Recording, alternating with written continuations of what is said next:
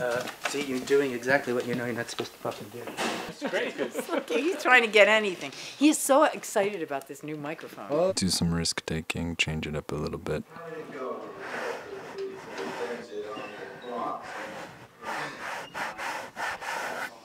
I mean, you, you wouldn't have to pay for it later. I mean, when I was a kid, I, my my room was loaded with booby traps. Something without consequences.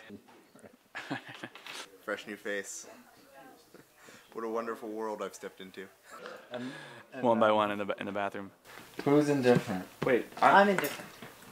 I changed my answer. That's, uh, that's exactly what I would do as well. I remove myself emotionally from every most situations. Yeah. This isn't me being mean. And my light switches. Is it that good? Yes. What, what like what's the most harm you've ever